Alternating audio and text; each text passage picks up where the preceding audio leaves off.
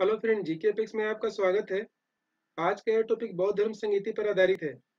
आज हम लोग इस टॉपिक से संबंधित महत्वपूर्ण बिंदु को समझने की कोशिश करेंगे। इसके अलावा इसे ट्रिक के माध्यम से भी याद करेंगे। चलिए शुरू करते हैं आज के टॉपिक। यहाँ पर हम लोग बौद्ध संगीति एवं उससे संबंधित महत्वपूर्ण जानकारी को समझेंगे। चलिए प्रथम बौद्ध संगीति के बारे में समझते हैं। प्रथम बौद्ध संगीति चार सौ ईसा पूर्व में हुआ था। इसका आयोजन राजगिरी के सतकर्णी गुफा में हुआ था। दोस्तों, यहाँ पर सतकर्णी गुफा और राजगिरी दोनों को ध्यान में रखना है। इस सम्मेलन के अध्यक्ष महाकश्यप को बनाया गया था, जबकि यह सम्मेलन अजात शत्रु के शासनकाल में हुआ था। अजात शत्रु हरेक वंश के प्रमुख शासक थे। आइए समझते हैं कि इस सम्मेलन में महत्वपूर्ण कार्य क्या हुए थे। इस सम्मेलन में बुद्ध के उपदेशों का संकलन सूत में किया गया था। यहाँ पर आपको उपदेश और सूत पिटक को याद रखना है। अब समझते हैं कि एग्ज़ाम में किस प्रकार के प्रश्न आते हैं। एग्ज़ाम में प्रश्न पूछेगा कि बुद्ध के उपदेशों का संकलन किस पिटक में हुआ है? यहाँ पर इसका आंसर सूत पिटक याद रखना है। इस सम्मेलन में बौद्ध भिक्षुओं के लिए नियम विनय पिटक में संकलित किया गया था। यहाँ पर नियम और विनय पिटक दोनों शब्दों को एक साथ याद रखना है। यदि नियम के साथ विनय पिटक को याद रखते हैं तो आसानी से इसका आंसर दे सकेंगे। चलिए इन सभी को दोबारा याद करने की कोशिश करते हैं। प्रथम बौद्ध संगीति चार सौ तिरासी ईसा पूर्व में हुआ था। यहाँ पे महत्वपूर्ण बिंदु याद रखिए कि चार सौ तिरासी ईसा पूर्व में महात्मा बुद्ध की मृत्यु हुई थी। यह सम्मेलन राजगिरी के सतकर्णी गुफा में हुआ था। प्रथम बौद्ध संगीति में अध्यक्ष महाकश्यप को बनाया गया था, जबकि उस समय तत्कालीन शासक अजाशत्रु थे। इस सम्मेलन में दो महत्वपूर्ण कार्य हुए थे।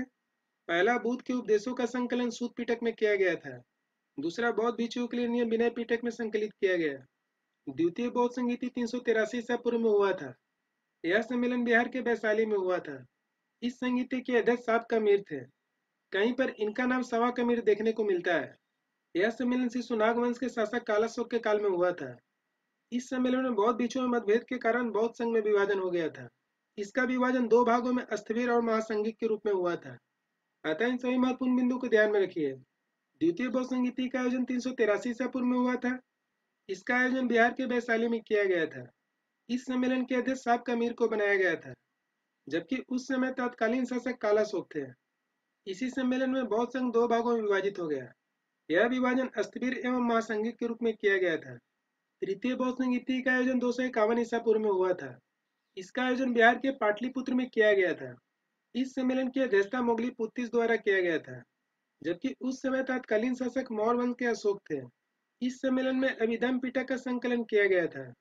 दोस्तों, सभी बौद्ध संगीति के महत्वपूर्ण कार्य को ज़रूर ध्यान में रखिए। तृतीय बौद्ध संगीति का आयोजन दो सौ इक्यावन ईसा पूर्व में हुआ था। इसका आयोजन बिहार के पाटलिपुत्र में किया गया था। इस सम्मेलन के अध्यक्ष मोगली पुत्तिस थे, जबकि उस समय तत्कालीन शासक अशोक थे। इसी सम्मेलन में अधिधम पिटक का संकलन किया गया था। इस पिटक का संबंध दार्शनिक सिद्धांत से है। चतुर्थ बौद्ध संगीति का आयोजन प्रथम शताब्दी ईस्वी में हुआ था। इसके पहले तीनों संगीति का आयोजन ईसापुर में हुआ था, परंतु चौथे बौद्ध संगीति का आयोजन ईस्वी में किया गया था। इसका आयोजन कश्मीर के कुंडल वन में हुआ था।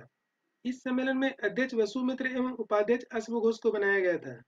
जबकि यह संगीति कुषाण वंश के शासक कनिष्क के शासनकाल में हुआ था। यहाँ पर क से कनिष्क और क से कुषाण को याद रखना है। इसी प्रकार क से कुंडलवन और क से कश्मीर याद रखना है। इस सम्मेलन में बौद्ध धर्म दो भागों में विभाजित हो गया था। एक थे हीनयान, जबकि दूसरे थे महायान। यह बिंदु एग्ज़ाम के व्यू से काफ़ी इंपॉर्टेंट है। अब हम लोग यहाँ पर बौद्ध संगीति से संबंधित महत्वपूर्ण बिंदु को ट्रिक से याद करने की कोशिश करेंगे। सबसे पहले हम लोग ईयर को समझते हैं।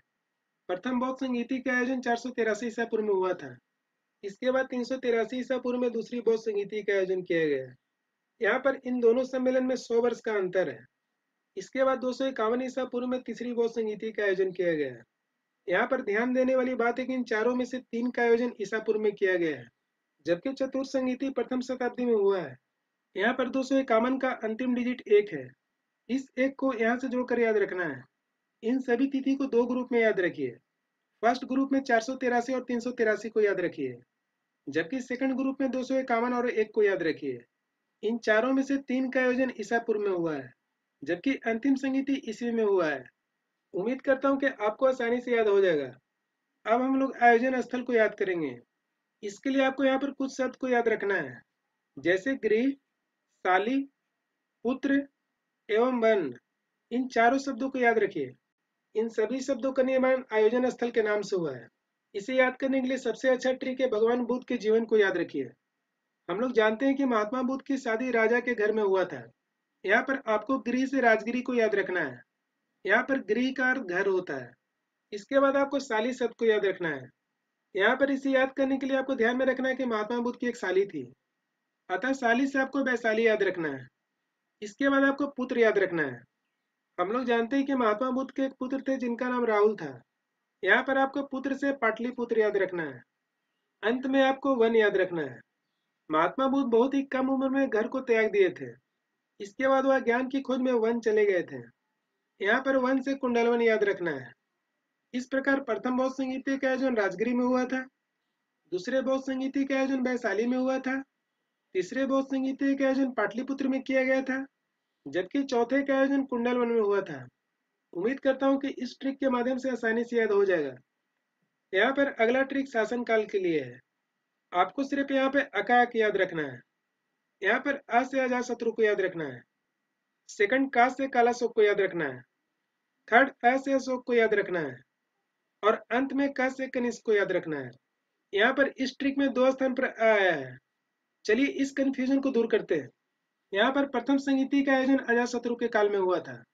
यहाँ पर आपको याद रखना है कि आपका प्रथम शत्रु कौन था? इस प्रकार अ वाला कंफ्यूजन दूर हो जाएगा। आइए इसे दोबारा याद करने की कोशिश करते हैं। प्रथम संगीति का आयोजन अजात शत्रु के काल में हुआ था। दूसरी संगीति का आयोजन काला शोक के काल में हुआ था। तीसरे संगीति का आयोजन अशोक के काल में हुआ था। जबकि चौथे का आयोजन कनिष्क के काल में हुआ था। दोस्तों, उम्मीद करता हूँ कि इस ट्रिक के माध्यम से आसानी से याद हो जाएगा। इसे याद करने के लिए केवल आपको प्रैक्टिस करने की ज़रूरत है। दोस्तों, आज का वीडियो आपको कैसा लगा कमेंट बॉक्स में ज़रूर लिखिए। यदि आज का वीडियो पसंद आए तो लाइक, शेयर, कमेंट्स करना मत भूलिए। मिलते हैं नेक्स्ट वीडियो में एक नई टॉपिक के साथ। तब तक के लिए थैंक यू, धन्यवाद।